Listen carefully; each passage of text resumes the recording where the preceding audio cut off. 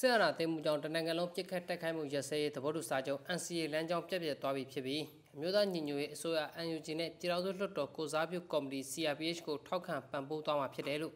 ကရင်တိုင်းသားခေါင်းဆောင်တွေနဲ့စုဖွဲ့ထားတဲ့ KNU Concern Group ကစက်တင်ဘာလ2ရက်နေ့မှာထုတ်ပြန်ခဲ့ပါတယ်။ဆီယနာသိမ်းပြီးနောက်ပိုင်းမြန်မာနိုင်ငံရဲ့လက်ရှိနိုင်ငံရေးစီးရေးအခြေအနေနဲ့ပတ်သက်ပြီး KNU Concern Group အဖွဲ့ခေါင်းဆောင်ဖြစ်သူကရင်အမျိုးသားအစည်းအရုံး KNU ဒုတိယဥက္ကဋ္ဌဟောင်းပရိုနိုစီဖိုရာစင်ကိုကျွန်တော်ဒီနေ့ဆက်သွယ်မေးမြန်းသွားမှာပါ။ ဟုတ်ကဲ့မင်္ဂလာပါဆရာမကြီးခင်ဗျပထမအဦးဆုံးအနေနဲ့ KNU Concern Group ကသဘောထားထုတ်ပြန်ခဲ့တာနဲ့ပတ်သက်ပြီးနည်းနည်းရှင်းပြပေးပါဦးခင်ဗျာဟုတ်ကဲ့ချက်ပါရေးထားတာပါလားပထမကတော့ကျွန်တော်တို့ပြအခုနိုင်ငံရေးအခြေအနေနဲ့ပြကြည့်လို့ဆိုရင်ပထမကဒီခုလောအခြေအနေပြကြည့်လို့ဆိုရင်ဒီလိုတူရေးကောက်တဲ့အစိုးရကစစ်စစ်တာတော့ဟောမ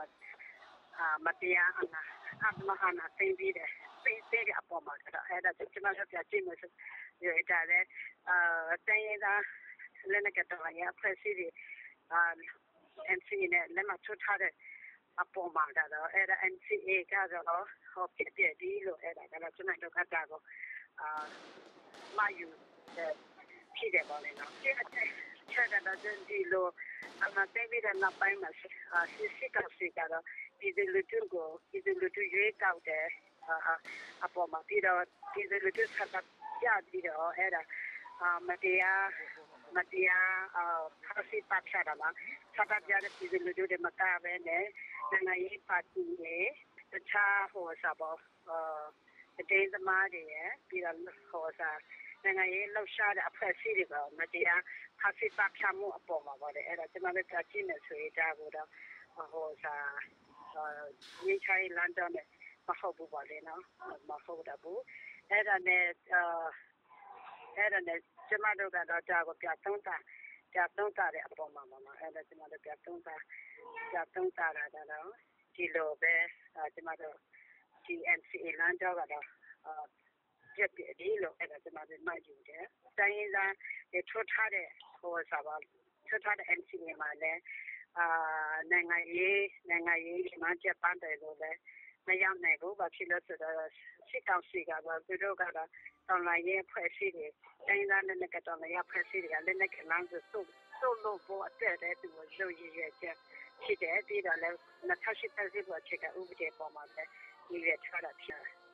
အဲ့ဒါအဲ့ဒါကြောင့် ကျွန်မပြစီတို့ပြစီမှာတော့ နောက်တစ်ချက်ကတော့အဲ့ဒါစစ်ကောင်စီကအနာသိမ့်ပြီးတဲ့နောက်ပိုင်းမှာလည်း ပြည်သူလူထုကို နိုင်ငံရေးပါတီထောက်ဆီးပြီးတာမကဘဲနဲ့ တိုင်းရင်းသားနယ်မြေတွေကိုလည်း သူတို့ထုတ်စီပါလေနော်ဒီလိုရှောက်မပို့ပြီးတော့ များလာတယ်လို့ အဲ့ဒါ ကျွန်တော်တို့လည်း ဒါကိုတိတိနေတာပါလေနော်ဖြစ်တာအဲပြီးတော့ဟိုစားမကြကြီးကပဲနော် အဲ့ဒါ ကျွန်တော်တို့ KNU ထိတ်ချတဲ့နေနေမှာ KNU ဟိုစားနေနေမှာလဲပို့ပြီးတော့ဟိုစားလှရှမှုစီလှရှမှု ပို့ပြီးတော့ များလာ များလာတယ်ပို့ပြီးတော့ရှိလာတာကိုအဲ့ဒါတွေ့တွေ့ရှိတာပေါ့ဟုတ်ကဲ့ပါဆရာမကြီးခင်ဗျာအခုထုတ်ပြန်ခဲ့တဲ့ NCA လမ်းကြောင်းကပြည့်ပြည့်သွားပြီပေါ့နော်ဒါပေမဲ့ KNU ဥက္ကဋ္ဌအပါအဝင်တချို့တိုင်းသားခေါင်းဆောင်တွေက NCA လမ်းကြောင်းတိုင်းရပ်တည်တယ်ဆိုတာမျိုးအရင်ကထုတ်ပြောခဲ့တာနဲ့ပတ်သက်ပြီးဆရာမကြီးအနေနဲ့ဗာမြတ်ပြောလို့ပါလဲခင်ဗျာမှန်တယ်ကတော့ဟိုစားပါလေအဲ့ဒါကတော့ရပ်တည်ကြတော့သူတို့ပြောတာတော့သူတို့ပြောတာဒါပေမဲ့တကယ်လက်တွေ့အခြေအနေကတော့ NCA ကခုနကကျမတို့ကျမတို့ပြောတဲ့အပေါ်မှာဟို ကျမဒီ NCA ထိုးတဲ့အပေါ်မှာ နိုင်ငံပြဿနာနိုင်ငံရင်းနဲ့ ဖြစ်ရှိမယ်ဆိုရင်အာကျွန်တော်လည်းပြခတ်တဲ့ဟိုရဖေးစာချုပ်ကို ထိုးတာဖြစ်တယ် အဲ့ဒါထိုးတဲ့ဟာကတော့ တိုင်းဒေသတော်များဖွဲ့စည်းတဲ့ချို့တွေ ပါလာတယ် အာစစ်တပ်ကလည်းပါတယ်အစိုးရကလည်းပါတယ်အစိုးရပါတဲ့အပေါ်မှာတော့ဟိုဖက်ဒီသူရွေးကောက်တဲ့အစိုးရတဖြစ်တယ်ပေါ့ civilian government ဖြစ်တယ်ဒါပေမဲ့အခုမှသွားကြည့်နေဆိုရင်တော့ဘယ်သူမှအစိုးရလည်းမရှိဘူး စစ်တပ်ကလည်း အာဏာရှင်စနစ်ဖြစ်သွားတယ် ပြည်သူလူထုကလည်းတပ်ဖြတ်မတရားတပ်ဖြတ်မှု ဖြစ်တဲ့အပေါ်မှာလည်း အကြောင်းထက်လည်း သူတို့ကလည်းအာ energy ကအကြောင်းထက်အဖွဲ့လည်း ဖြစ်သွားတယ်ဆိုတော့ အဲ့ဒါ NCA လာကြောင်းနဲ့ပေါင်းမယ်ဆိုဘယ်သူနဲ့ပေါင်းဘယ်သူနဲ့ပေါင်းမယ်ဆိုတာလာကြောင်းတော့ မရှိတော့ဘူးလို့လည်းအဲ့ဒီမှာလည်းကြည့်နေပါလေ အဲ့ဒါနဲ့ဟိုစားသူတို့နဲ့ဆိုရင် သူတို့ အကြောင်းထက်အဖွဲ့ ဖြစ်သွားတယ်ဆိုရင် NCA လာကြောင်းကတော့ပြည့်ပြည့်ကြီးလို့ပဲစဉ်း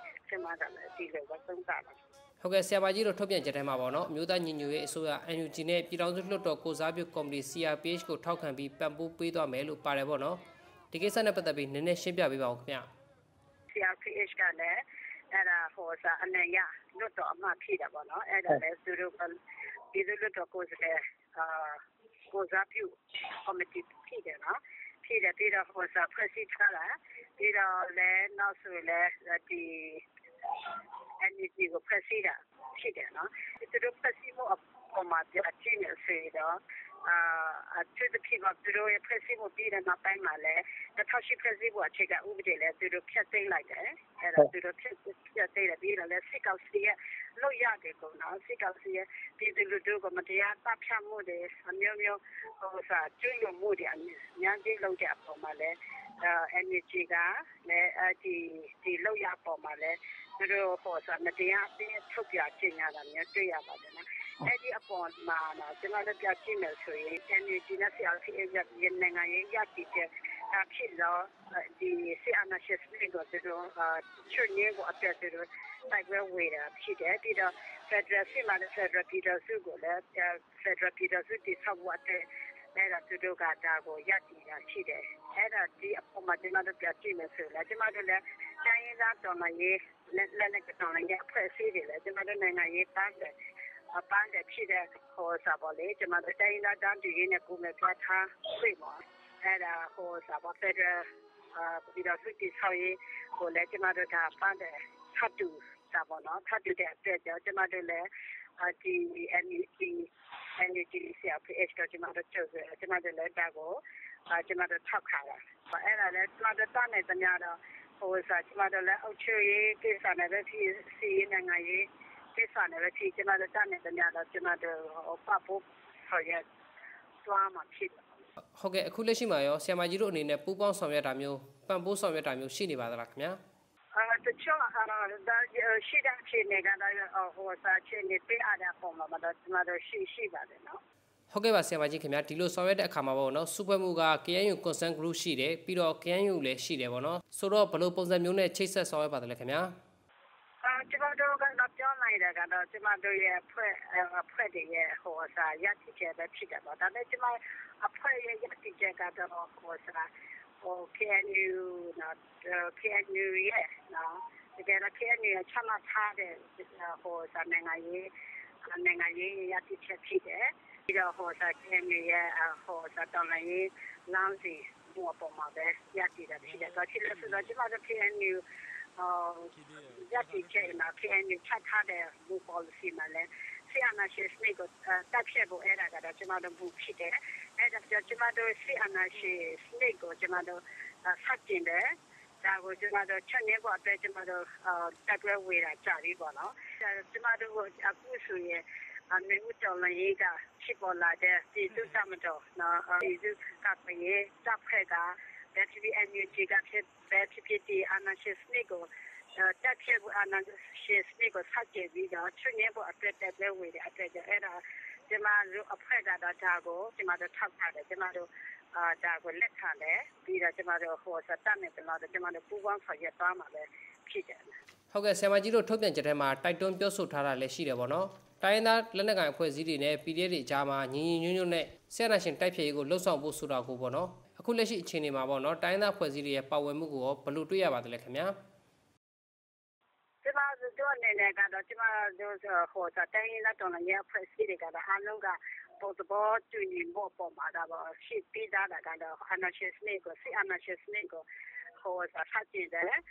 တက်ဖြတ်ဖို့ကတော့အလုံးကဟိုစာရှိပေးသားတယ်ဟိုစာမူတော့တူညီချက် ရှိတာပါလေ ဒါက အဆစ်စစ်ပါမလားအာဘယ်လိုပြောမလဲ ဒါကကြည့်အဆစ်ဆက်ပါဖြစ်ဖြစ်တယ်ဒီမှာတော့သဘောထားရတဲ့ချက်မျိုးဖြစ်တယ်ဒီတော့ Federal ပြည်ထောင်စု တည်ဆောက်ရေးကိစ္စနဲ့လည်း အဲ့ဒါလည်း ကျွန်တော်တို့ကတော့သဘောတူညီထားတယ်ကျွန်တော်တို့ရတဲ့ဖြစ်တယ် အဲ့ဒါကြောင့် အခုဆိုလည်း သွားနေတဲ့ဒီအခုမှသွားနေတဲ့ဟိုစာပါလေအခြေအနေမှာ ပြည်သူလူထုတွေ အာဟိုစာပြည်သူလူထုကစီအနာရှိကိုဆက်ကြည့်ပြီးတော့ဒီဥတော်လည်းရစတဲ့လှုပ်ဆော်တာဖြစ်တယ်ပြီးတော့ပြည်သူ့ကာကွယ်ရေးတပ်ဖွဲ့တွေနဲ့လည်းအဲ့ဒါကတော့သူတို့ကလည်းစီအနာရှိစနစ်ကိုအာချွန်နေဖို့အတွက်လည်းသူတို့ဟိုစာတိုက်ပွဲဝေကြတာဖြစ်တဲ့အပေါ်မှာကျမတို့လည်းတူညီတဲ့ ဟဟိုစားပန်းတဲ့ဒီမန်ချက်ဒီကိုအဲ့ဒါကျမတို့ကတော့အာဒီနေ့တနေ့ပူပါပြီးတော့ဆက်ရဒီနေ့တနေ့ဟိုစားပါလေတိုက်ပွဲဝေချဖို့အတွက်ကတော့ အားလုံးက ကျမ တို့ချင်တယ် ပြည်သူလူထုတွေကလည်း အားလုံးကတော့ ဒါကို ဝိုင်းဝန်းပြီးပပုံးဖို့ အဲ့ဒါလည်း ကျမတို့တောင်းတောင်းဆိုကြတယ် ဟုတ်ကဲ့ပါခင်ဗျခုလက်ရှိ ကရင် ကချင်နဲ့နော်ဒီကရင်ဒေသ ချင်းပြည်နယ်တွေမှာဆရာနာရှင်တော်လိုင်းရေး လှုပ်ရှားမှုတွေကိုလည်း တွေ့နေရတယ်ပေါ့နော်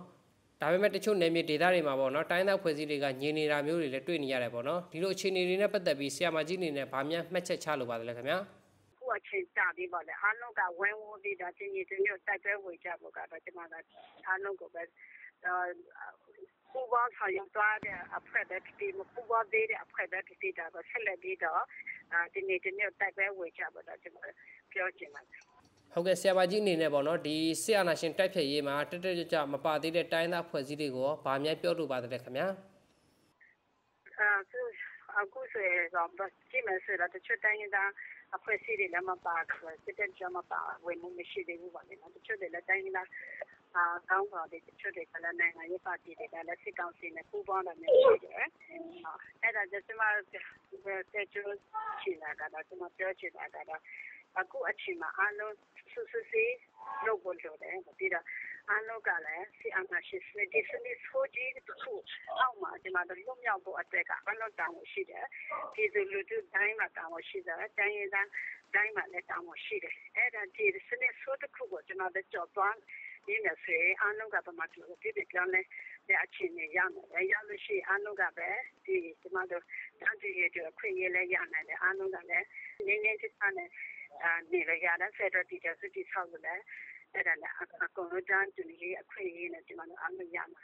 အဲ့ဒါအဲ့ဒါကြောင့်ဒီမှာတော့ကတော့ပြည်သူလူထုရောတိုင်းသာအတိအကျနော်တိုင်းသာအမဆိုပါလေနော်ဒါတော့ပြည်တော့အာစစ်ကောင်စီစစ်ကောင်စီနော်အနာအနာရှင်နော်စစ်အနာရှင်ကိုအဲ့ဒါမသူရလို့သူတို့လို့ရကိုစစ်တမမကြည့်ဖို့လို့တယ် အဲ့ဒါကတော့ဒါကိုလက်ခံလို့မရဘူးအဲ့ဒါဆက်ကြည့်ဖို့လုပ်ပြီးတော့အဲ့ဒါအလုံးကအာပြည်သူလူလို့ရှာမှုကိုပါဝင်ဖို့ကျွန်တော်ပြောချင်တယ်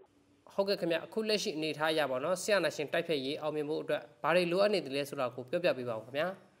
အားလုံးဒီဒီနေ့တိုက်ပွဲဝေကြမယ်ဆိုရင်ဒါကတော့ဟောစားအောင်မြင်အောင်မြင်နိုင်တယ်နော်အောင်မြင်နိုင်တယ်အောင်မြင်ဖို့အတွက်ကတော့ဟောစားလမ်းကြောင်းရှိတယ်နော် အဲ့ဒါကအမှုချအောင်မြင် တောင်းလည်းစိတ်ဖတ်တဲ့တောင်းလည်းဆိုတာ အောင်မြင်ရမယ်နော် အဲ့ဒါကအဲ့ဒါကျမတို့ သွားနေတဲ့ တောင်းလည်းတိုင်းသားနဲ့ကတောင်းလည်းဆက်စီရတောင်းလည်းဟာလေဒီတော့ အခုဆိုမှလည်း ပြည်သူလူထုတွေရဲ့ဒီလိုနေတောင်းလည်းမှာလေဒါကတော့ဟိုစာမတရားအာတော့ အမအမတရားဖြစ်တယ် အမတရားဖြစ်တဲ့အပေါ်မှာ အဲ့ဒါကတော့ စစ်မှန်တဲ့ တောင်းလည်းဖြစ်တယ် အဲ့ဒါတော့အနုကဒီလိုအပေါ်မှာ ရပ်တည်ပြီးတော့မမမမရပ်တည်ပြီးတော့ ဒါကိုအာစိတ်ဓာတ်မကြဘဲနဲ့ ခိုင်ခိုင်မာမာ ဒီရပ်တည်ချက်အပေါ်မှာအာရပ်တည်ချက်အပေါ်မှာတက်ပွဲဝင်ကြမယ်ဆိုရင် အားလုံးအောင်မြင်နိုင်တယ်လို့ ဟုတ်ကဲ့ပါ ဆရာမကြီးခင်ဗျာ အခုနောက်ဆုံးမေးခွန်းအနေနဲ့ပေါ့နော်ဆရာနာရှင်ရဲ့ ဖိနှိပ်မှုကို ရင်ဆိုင်နေရတဲ့ ပြည်သူလူထုကိုရောဗာမြန်သတင်းစကား ပါလို့ပါတယ်လေခင်ဗျာဒီမှာပြောကြားလို့တာကတော့ ပြည်သူလူထုတွေကတော့ ဘယ်လိုပဲ အခြေအနေရှိရှိပါနော် အဲ့ဒါမမမမရည်ဖို့လို့ရတယ် ပြီးတော့တရားနဲ့တရားပြင်မှာဆွတ်ရှော့ဖို့လို့ရတယ် ပြီးတော့ဟိုစားပေါ်လေဒီအာငါရှိစနေကတော့အဲ့ဒါကျမတို့ နောက်ထပ် အနေဆုံးစအနေခုနစရမနေမနေစေချင်တော့ဘူး အဲ့ဒါကြောင့်ဒီလူတို့အားလုံးပဲအချင်းနေပဲဖြစ်ဖြစ်ပဲအချင်းနေပဲဆူဆူအားလုံးကဝင်ဝပြီးတော့အာဝင်ဝ